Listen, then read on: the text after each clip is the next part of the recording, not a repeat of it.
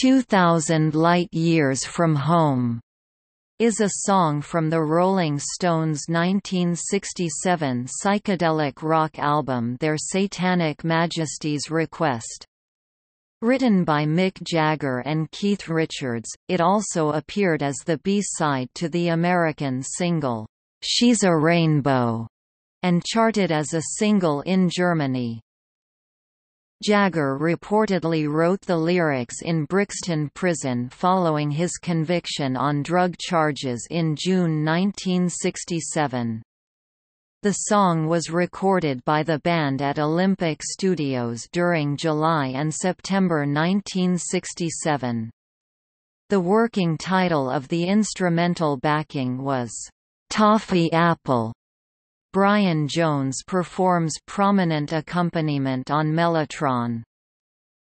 The number was regularly featured during the Stones' 1989–90 Steel Wheels, Urban Jungle tours, until 1997, when, "'She's a Rainbow' was also added to the band's stage repertoire. It was the only track from Satanic Majesties that the band had performed in concert. For the first time in 23 years, the Rolling Stones played 2000 Light Years from Home on the 29th of June 2013 at the Glastonbury Festival.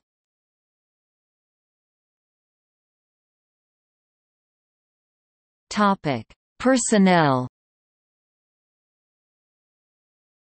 Mick Jagger, lead and backing vocals, percussion, Brian Jones, Mellotron, Theremin Keith Richards, electric guitar, backing vocals.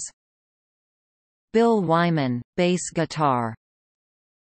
Charlie Watts, drums. Additional personnel. Nicky Hopkins, intro, outro piano. Charts